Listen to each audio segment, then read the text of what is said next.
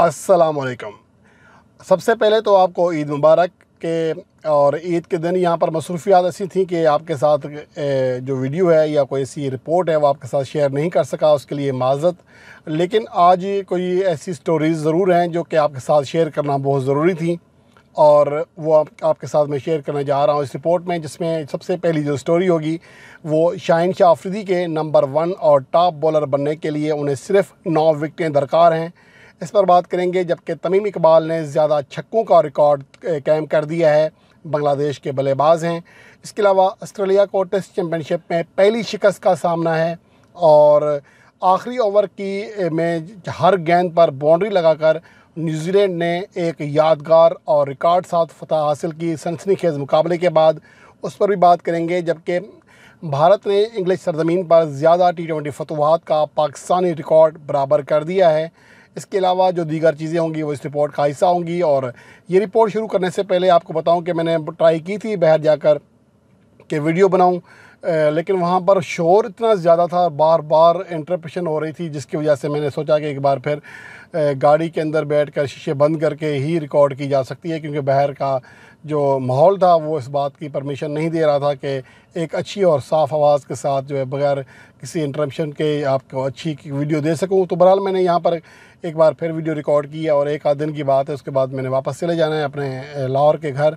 तो फिर वहाँ पर इन चीज़ें जो हैं वो नॉर्मल हो जाएँगी, मामूलत, जो मामूलत ज़िंदगी हैं वो वैसे हो जाएँगे। तो बहरहाल आज की जो पहली टॉप स्टोरी है, उस पर बात करते हैं। पाकिस्तानी फास्ट बॉलर शाहिन शाफरीदी को, जो कि दौरा श्रीलंका के लिए, पाकिस्तान के लिए, पाकिस्तान के स्क्वाड में शामिल हैं। वहाँ जाकर वो बड़ी परफॉर्मेंस देने के लिए पुरुद हैं और आलमी टेस्ट बॉलिंग रैंकिंग में चौथे नंबर पर मौजूद हैं। पाकिस्तान के हाई रैंक बॉलर हैं। अब उन्हें एक और बड़ा एजाज़ हासिल हो सकता है, अगर वो दौरा बांग्लादेश में खेले जाने वाले दो टेस्ट मैच मैचेस में मजमू तौर पर सिर्फ़ नौ विकटें हासिल कर लें तो उनके लिए बहुत बड़ा एजाज़ हो जाएगा कि वो दूसरी आईसीसी टेस्ट चैम्पियनशिप में सबसे ज़्यादा विकटें हासिल करने वाले बॉलर बन जाएँगे। अगर मौजूदा वक्त में उनकी कारकर्दगी देखें तो अब तक उन्होंने दूसरी टेस्ट चैम्पियनशिप में सिर्फ़ और सिर्फ़ सात टेस्ट मैचेस खेले हैं जिनमें सैंतीस विकटें हासिल की हैं, जबकि जो टॉप बॉलर हैं वो भारत के जसप्रीत बुमराह हैं, जिन्होंने दस टेस्ट मैचेस खेलकर, यानी कि शाहिन शाह अफरीदी से तीन जैद टेस्ट मैचेस खेल कर पैंतालीस विकटें हासिल की हैं। दूसरे नंबर पर जेम्स एंडरसन हैं, उन्होंने दस टेस्ट मैचेस के लिए चालीस विकटें हासिल की, जबकि शाहिन शाह अफरीदी ने सात टेस्ट मैचों में सैंतीस विकटें हासिल की हैं। और जितने भी बॉलर हैं टॉप जो नाइन बॉलर हैं, उनमें शाहिन शाह आफरीदी वाद बॉलर हैं जिन्हें एक मैच में दस विकटें हासिल करने का एजाज़ हासिल हुआ। यूँ मजमू तौर पर शाहिन शाह आफरीदी अफरीदी से बेहतर जा रहे हैं इस टेस्ट चैम्पियनशिप में और उम्मीद है कि इन वो अपनी कारकर्दगी को ऐसे आगे बढ़ाएँगे। और उसके अलावा बात करेंगे तमीम इकबाल के छक्कों के हवाले से गुजशत मैच में, जिसमें शानदार फतह हासिल की वेस्ट इंडीज़ के ख़िलाफ़ बांग्लादेश ने ये पहला मैच था जिसमें बारह और गीला ग्राउंड होने की वजह से जो फ़ी इनिंग्स थी वो इकतालीस ओवर तक महदूद की गई थी।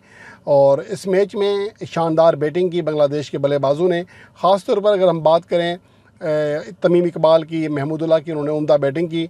तमीम इकबाल को इस मैच से पहले सिर्फ़ एक छक्का दरकार था कि वो बांग्लादेश के वनडे फार्मेट में ज़्यादा छक्के लगाने वाले या सौ छक्के मुकम्मल करने वाले पहले बैटर बनने का एजाज़ हासिल करें और उन्होंने ये कारनामा सर अंजाम दिया। उन्होंने एंडरसन फ़िलिप्स की गेंद को लेग साइड की जानब खेला, बाउंड्री लाइन के बाहर फेंका, जिससे वो वनडे हिस्ट्री में सौ छक्के लगाने वाले बांग्लादेश के पहले खिलाड़ी बन गए। अगर हम मजमू तौर पर देखें तो ज़्यादा छक्कों के अतबार से जो बांग्लादेश की जानब से वनडे फार्मेट में ज़्यादा छक्के लगे हैं, उनमें सौ छक्के तमीम इकबाल के हैं, मुशफ़िक रहीम। पचासी छक्कों के साथ दूसरे नंबर पर हैं, जिनके बाद महमूदुल्ला ने बहत्तर और मुशरफी मुर्तज़ा जो उनके जो कि उनके सबक कप्तान थे, वो बासठ छक्के लगा चुके हैं। यूँ मजमू तौर पर सिर्फ़ चार ही ऐसे बांग्लादेशी बैटर्स हैं, जिन्होंने वनडे इंटरनेशनल क्रिकेट में छक्कों की फिफ्टी यानी कि पचास से ज़्यादा छक्के लगाए हैं। और इसके अलावा अगर मजमू तौर तौर पर देखा जाए तो दुनिया में सिर्फ़ दो ही ऐसे बैट्समैन हैं, जो कि तीन सौ छक्कों की हद पार कर सके हैं, जिनमें शाइन शायद शाहिद खान अफरीदी तीन सौ इक्यावन छक्के लगाकर सर फहरस्त हैं, जब, जिसके बाद क्रिस गेल तीन सौ इकतीस छक्के लगाकर दूसरे नंबर पर है, जबकि जय सनत जयसूर्या ने दो सौ सत्तर छक्के लगाए थे। ये तीन ऐसे बैटर हैं, जिन्हें वनडे इंटरनेशनल क्रिकेट में ढाई सौ से ज़्यादा छक्के लगाने का एजाज़ हासिल है। इसके अलावा अगर हम मैच की बात करें, जिसमें तमीम इकबाल ने छक्का लगाकर सौ छक्के मुकम्मल किए, सौ छक्कों की सेंचुरी मुकम्मल की, इस मैच में वेस्ट इंडीज़ ने पहले बैटिंग करते हुए एक सौ उनचास रन बनाए, नौ विकटें गवाकर उनके शमार ब्रोक्स ने सबसे ज़्यादा तैंतीस रन बनाए, जिसके जवाब ने बांग्लादेशी बैटर्स ने शानदार बैटिंग की। ओपनिंग बैट्समैन जो कि कप्तान भी थे, तमीम इकबाल 25 गेंदों पर चार चौकों और एक छक्के समेत 33 रन बनाए। सैंतीस रन बनाए नजमुल हसन मिंटो ने, जबकि महमूदुल्ला ने उनहत्तर गेंदें खेली, दो चौके और एक छक्के समेत इकतालीस रन बनाए, जिसकी वजह से वो ये मैच जीतने में कामयाब रहे। इसके अलावा इंग्लैंड और जो मैच था भारत, इंग्लैंड और भारत का, वो बहुत ज़्यादा सनसनीखेज मैच था। इससे पहले सीरीज़ के पहले दोनों टी ट्वेंटी मैचेस में भारत ने कामयाबी हासिल की थी। इंग्लैंड को क्लीन स्वीप की खिफत से बचने के लिए ये ये मैच जीतना ज़रूरी था और शानदार खेल पेश किया उनके बल्लेबाजों ने। टी ट्वेंटी मैच में 215 रन का स्कोर जो है स्कोर बोर्ड पर सजाया, जिसमें सबसे बड़ा जो किरदार था, वो डेविड मलान का था, जो कि पहले आलमी number one T twenty batter भी रह चुके हैं। उन्होंने उनतालीस गेंदें खेली छः चौके और पाँच छक्के लगाए सेवेंटी सेवन रन किए। और लियाम लिविंगस्टन ने भी शानदार बैटिंग की। उनतीस गेंदें खेली, चार छक्कों समेत बयालीस रन बनाए। इसके अलावा दीगर बल्लेबाजों ने छोटी छोटी इनिंग्स खेली, लेकिन बहुत तेज़ इनिंग्स खेली, जिसकी वजह से दो सौ पंद्रह रन बनने में, बन गए इंग्लैंड के। और उसके जवाब में अगर बैटिंग की बात करें भारत की तो उनके सूर्या कुमार यादव ने शानदार बैटिंग की। सेंचुरी स्कोर की, पचपन गेंदें खेली, चौदह चौके और छः छक्के लगाए 117 रन बनाए, लेकिन भारत का कोई और बैटर जो है, बड़ी कारकर्दगी ना दिखा सका, जिसकी वजह से वो ये जो टारगेट था 216 रन का, वो अबूर ना कर सके और एक सौ रन बना सकी उनकी टीम भारत ने गो के आखिरी मैच में नाकामी का सामना किया, लेकिन इसके बावजूद वो ये सीरीज़ जीतने में कामयाब रही ये दूसरा मौका था कि उसने इंग्लैंड में लगातार दूसरी सीरीज़ जीती और ज़्यादा टी ट्वेंटी सीरीज़ जीतने का इंग्लिश सरजमीन पर जो रिकॉर्ड है पाकिस्तान का वो बराबर कर दिया। अब पाकिस्तान और भारत दो ऐसी टीमें हैं जो कि श्रीलंका के बाद दूसरी ज़्यादा टी ट्वेंटी सीरीज़ जीतने वाली टीमें इंग्लिश सरजमीन पर। मेज़बान इंग्लैंड के ख़िलाफ़ श्रीलंका ने वहाँ पर सबसे ज़्यादा तीन टी ट्वेंटी सीरीज़ जीती हुई हैं, जिसके बाद जो है कोई भी ऐसी टीम नहीं है मासवाए पाकिस्तान और भारत के, जो वहाँ पर एक से ज़्यादा टी ट्वेंटी सीरीज़ जीत सकी हो वेस्ट इंडीज़ ने वहाँ पर चार सीरीज़ खेली हैं। एक जीती है, एक हारी है। अगर पाकिस्तान का रिकॉर्ड देखें, पाकिस्तान ने वहाँ दो हज़ार छः में और दो हज़ार सोलह में बामी टी ट्वेंटी सीरीज़ जीती थी। पाकिस्तान ने वहाँ मजमू तौर पर छः सीरीज़ खेली हैं। दो जीती हैं, तीन हारी हैं, एक ड्रा की है। श्रीलंका ने वहाँ पाँच सीरीज़ खेली हैं। तीन जो पहली सीरीज़ थी वो जीती और आखिरी दो में शिकस्त का सामना किया। इंडिया ने चार खेली, दो जीती, दो हारी। वेस्ट इंडीज़ ने वहाँ पर चार खेली हैं, एक जीती, एक हारी और दो ड्रा की। इस तरह न्यूजीलैंड ने वहाँ पर मजमू तौर पर तीन सीरीज़ खेली हैं। एक जीती है और दो इसमें शिकस्त खाई है।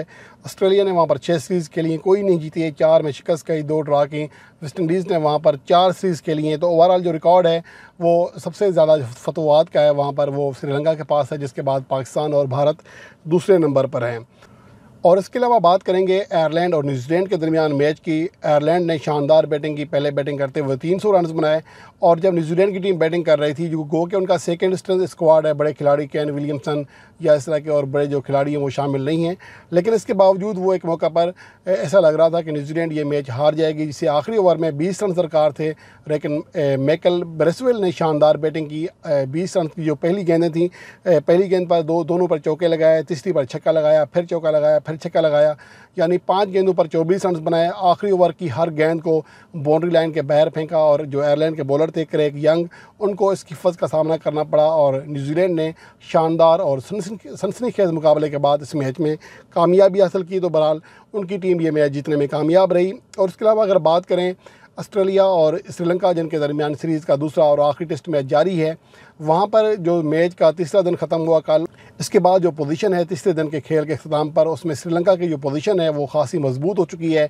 सिक्सटी सेवन रन की लीड हासिल कर ली है। अगर हम स्कोर की बात करें तो ऑस्ट्रेलिया ने पहले बैटिंग की थी, तीन सौ चौंसठ रन बनाए थे, जिसके जवाब में श्रीलंकन टीम ने सिर्फ़ छः विकटें गंवाई अब तक और चार सौ इकतीस रन बना लिए हैं। दिनेश चंदीमल ने सेंचुरी की इसके अलावा उनके बहुत सारे बैटर्स ने, अच्छी इनिंग्स की दो बैटर बैटर ने एटी प्लस रन की के लिए दो ने फिफ्टियाँ स्कोर की, जिसकी वजह से चार सौ इकतीस रन का मजमू हासिल करने में कामयाब रही है श्रीलंका की टीम सिक्सटी सेवन रन की बर्तरी हासिल है। लगता यही है कि श्रीलंकन टीम इस मैच को अब लीड कर रही है। हो सकता है कि मैच ड्रा की जाने भी चला जाए, लेकिन मौजूदा सूरत हाल में लगता यही है कि श्रीलंकन टीम ये मैच जीत जाएगी। और अगर ऐसा जीत जीत जाती है तो उसका टेस्ट चैम्पियनशिप में क्या असर पड़ेगा?